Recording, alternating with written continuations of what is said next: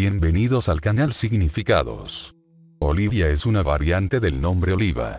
Oliva significa aceituna, olivo.